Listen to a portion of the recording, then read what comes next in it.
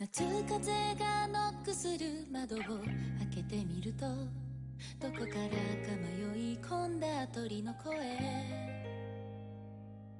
お見かけの本を置きどこから来たんだいと笑う。目隠ししたまんまの午後3時です。世界は案内シンプルで複雑に回帰した。私な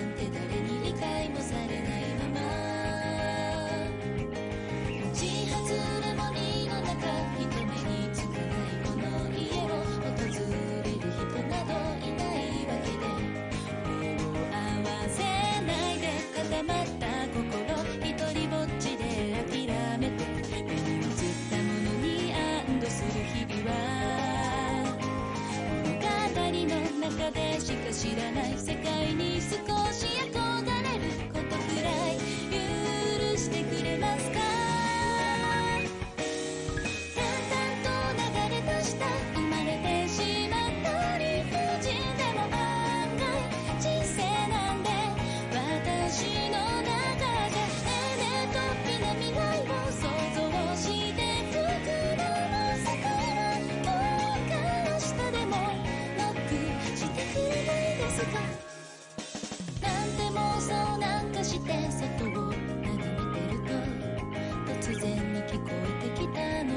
り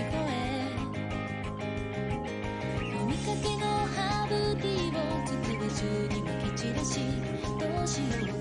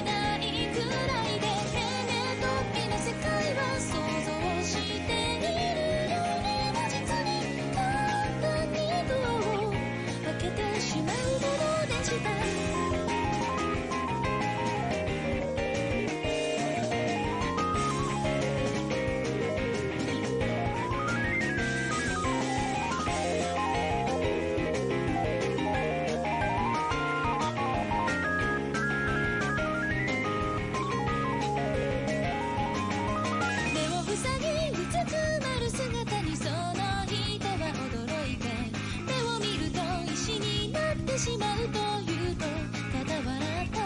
僕だって石になってしまうと怯えて暮らしてた。